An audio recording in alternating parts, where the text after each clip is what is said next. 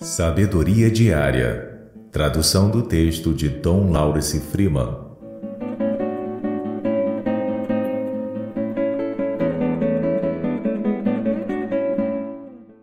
A fé é a noite escura onde encontramos Deus num conhecimento escuro e amoroso.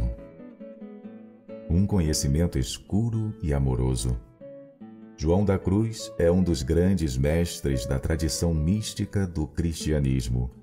E nessa tradição existem alguns grandes mestres que enfatizam mais a escuridão do caminho e outros mestres que enfatizam e representam em si mesmos a luz, o caminho da luz.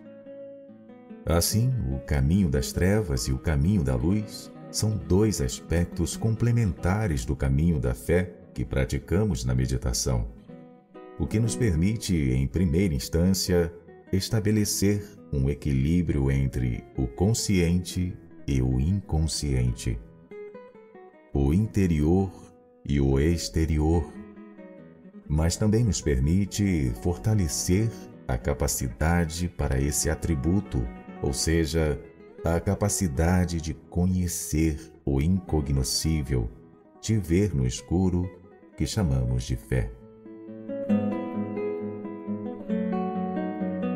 Comunidade Mundial para a Meditação Cristã